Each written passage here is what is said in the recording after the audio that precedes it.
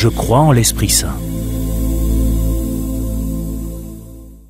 Livre des Actes des Apôtres, chapitre 2, versets 1 à 13. Quand le jour de la Pentecôte arrive, les croyants sont réunis tous ensemble au même endroit. Tout à coup, un bruit vient du ciel. C'est comme le souffle d'un violent coup de vent. Le bruit remplit toute la maison où ils sont assis.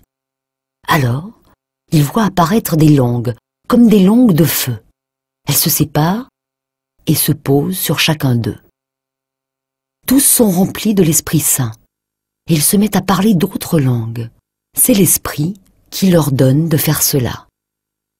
À Jérusalem, il y a des Juifs venus de tous les pays du monde. Ce sont des gens fidèles à Dieu. Quand ils entendent ce bruit, ils se rassemblent en foule. Ils sont profondément surpris parce que chacun entend les croyants parler dans sa langue. Ils sont très étonnés et pleins d'admiration et ils disent tous ces gens qui parlent sont bien des Galiléens.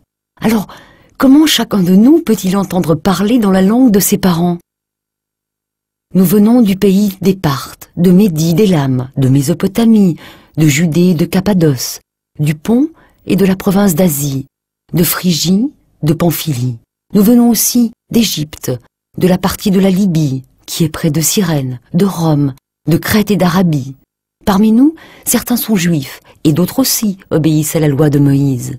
Et pourtant, chacun de nous les entend annoncer dans sa langue les grandes choses que Dieu a faites. Ils sont tous très étonnés et ne savent pas quoi penser. Ils se disent entre eux, Qu'est-ce que cela veut dire? Mais d'autres se moquent des croyants en disant, Ils sont complètement ivres.